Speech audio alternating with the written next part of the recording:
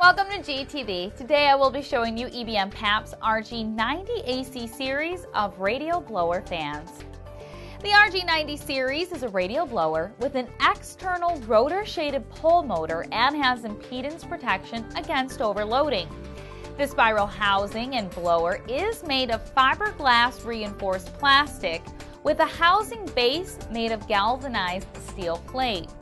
The radial air exhausts through the housing port with a rotational direction clockwise when looking at the rotor.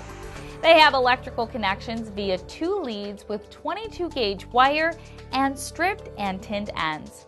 Models are available with either Sintec sleeve or ball bearings. The single curve models are rated for 115 volts AC at 60 Hz with a CFM of 27.7 and a speed of 1900 RPM.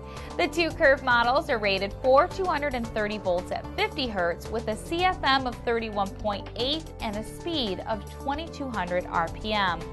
All models have 22 watts of power and produce 60 decibels of noise. They are lightweight at 1.25 pounds and are 135 by 135 by 38 millimeters. For imperial measurements, this is roughly 5.31 inches for width and length and 1.5 inches for depth.